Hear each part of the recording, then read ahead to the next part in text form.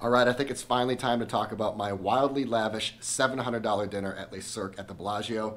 This dinner was life changing. Um, it was otherworldly. It's one of the best dinners I've ever had in my entire life, anywhere. Uh, Paris, Tokyo, anywhere domestically. Michelin star, non Michelin star. This dinner was almost indescribable, but I'm going to do my best to describe it to you.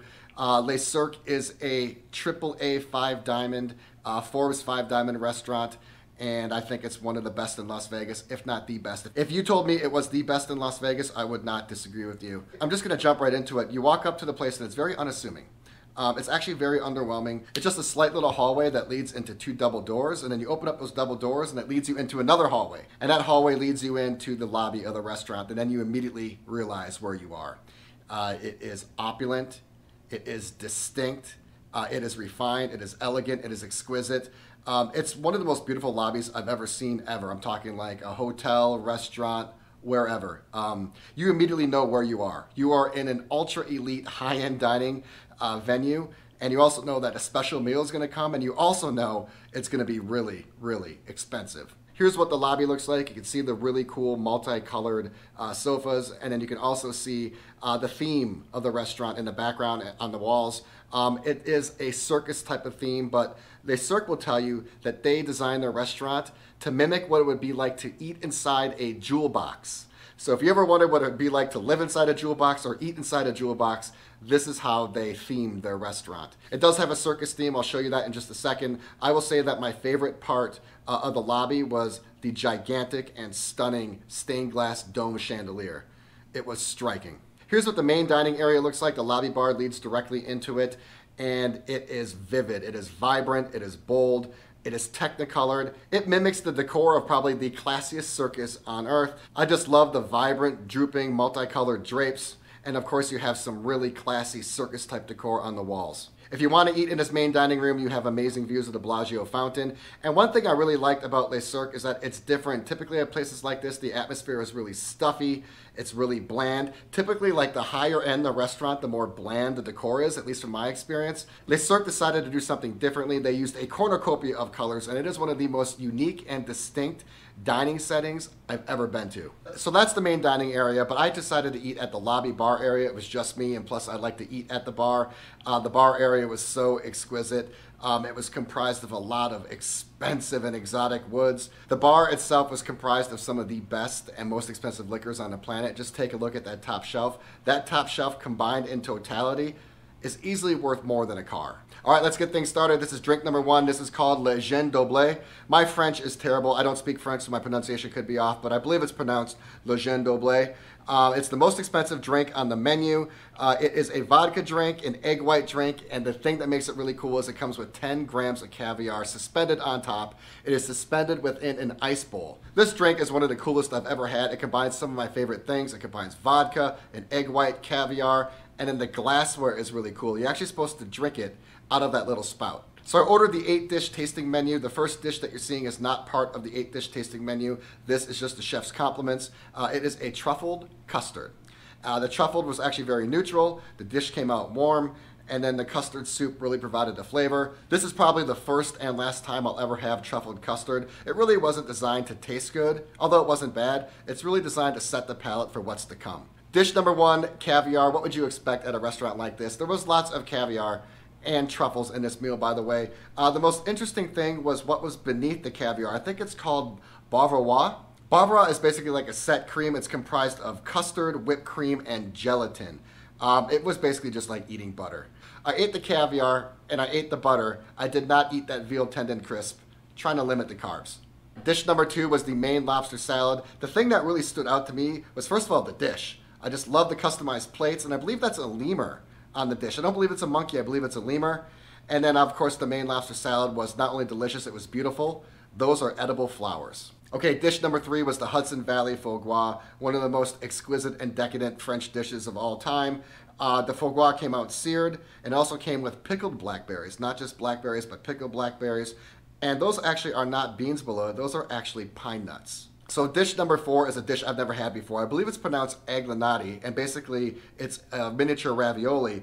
But what made it interesting is what it was stuffed with. It was stuffed with roasted sunchokes. The only way I could describe roasted sunchokes would be a more exotic, better texturized, and better flavored edamame. This was one of the best dishes of the night, and that liquid you see around it is like a chicken broth.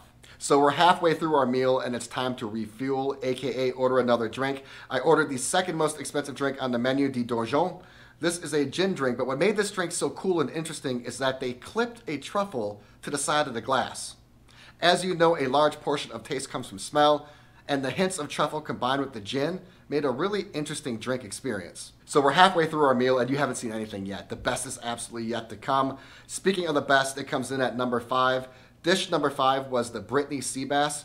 This was the best dish of the night. I don't even like sea bass.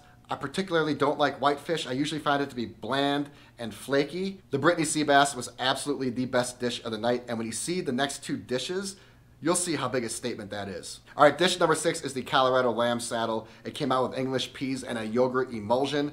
The restaurant claimed that this is their best dish on the entire tasting menu. The dish was fantastic, but of the three entrees, it was my least favorite. So when I was looking over the menu, I thought this next dish, dish number seven, was going to be my favorite. So in order to prepare for that, I ordered a French Pinot Noir. I only drink Pinot Noirs, and I only drink French Pinot Noirs. This thing, I think it was a 2017, was smooth, Pretty bold for a French Pinot with a silky texture. All right, dish number seven is the Japanese Wagyu loin. Uh, this is an F1 Japanese Wagyu. It's not an A5. You can upgrade to the A5 for an extra $128. I just wanted the standard experience, so I just went with the F1. Now here's what made this dish phenomenal. An F1 is a cross between a domestic Angus and a Japanese Wagyu. Typically, those are raised in America 9 out of 10 times. This is an Angus Wagyu cross raised in Japan, and then sent over here. That's why you see the crazy marbling and unbelievable fat content. Domestic Wagyu will never look like this, and domestic Wagyu will never taste like this. This thing was outstanding. So that's it for the entrees. It's time to graduate to dessert. And this is one of the most show-stopping, stunting desserts of all time. It's the chocolate ball. You've seen this at other high-end restaurants. This dessert never gets old. Uh, basically, this is a chocolate shell with vanilla ice cream in the middle and hazelnuts. And then you pour the warm chocolate syrup on it and it melts. Like I said, aesthetically, this never gets old. I could watch this come out again and again. And it was so good. I could definitely eat that again and again what an extravagant, indulgent, and extraordinary meal. Uh, we're not done yet, though. I have one drink left. This was actually my most expensive drink. It was an off menu item. Uh, they said they were going to make me a drink with a toasted marshmallow. I said, absolutely. They said it's an espresso martini. I said, only if you can make it decaf. Of course, they made it happen. So I love this glassware. The drink came out in one of the most beautiful martini glasses I've ever seen. The hyper elongated stem was a showstopper. Of course, she torched up the marshmallow and plopped it in my drink. It was the perfect punctuation point and nightcap to an extraordinary meal. The eight course tasting menu at Le Cirque at the Bellagio is $388. The only cost that I really didn't detail was a large Evian water. Uh, that was $9.50. Subtotal for the food and drink was $565.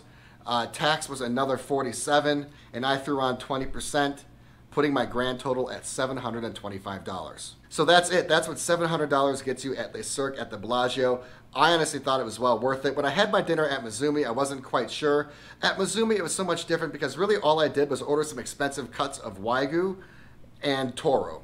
This was a much more complete meal. I got an eight course tasting menu. The menu was brilliantly creative. The service was impeccable. The decor is spectacular and unrivaled. And overall, the experience came together much more than my meal at Mizumi. My dinner at Le Cirque was definitely an improvement from last time. I thought the menu was much improved. And also the atmosphere was a bit more approachable. Well, as approachable as a dinner like this could be. If you're looking for one of the most supreme, unforgettable, life-changing meals in Las Vegas, definitely head to Le Cirque. It's going to cost you a little bit, but I promise you what you pay is worth it. It is an unforgettable dining experience that will last a lifetime.